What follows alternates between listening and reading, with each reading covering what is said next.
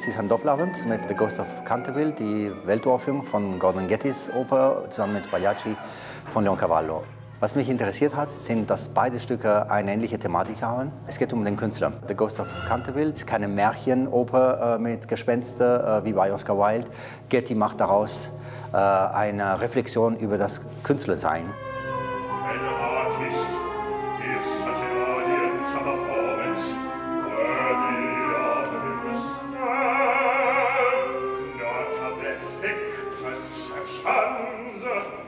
Die Ortiz-Familie, die haben dieses äh, Schloss von Canterville gekauft und bis dorthin hat diese Gespenst immer große Erfolge gehabt, weil die Einwohner sind nicht länger als eine Nacht in dem Schloss geblieben.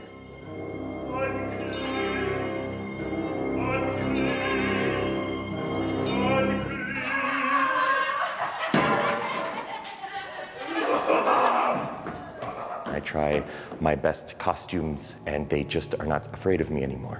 And it, it literally scares me. It's because it, it challenges my whole identity as a performer and as an actor and makes me come to realize that perhaps my time has passed.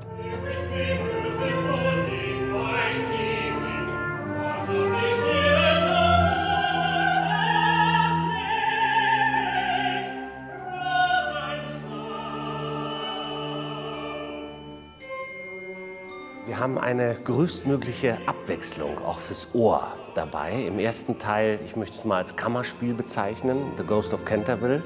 Wirklich nur Solisten, als Gesangssolisten auf der Bühne. Und im zweiten Teil haben wir dann klangliche Opulenz pur. Ein wirklich großes spätromantisches Sinfonieorchester inklusive zweier Harfen und dieser wunderbare Verismo Leon Cavallos.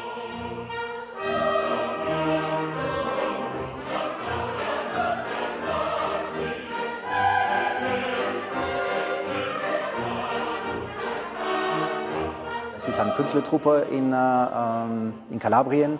Der Chef von dieser Truppe, der Direktor, äh, hat Probleme mit seiner Frau, sie will ihn verlassen. Nun, sie ist die einzige Attraktion von der Truppe. Wenn sie weg ist, dann ist die Truppe tot.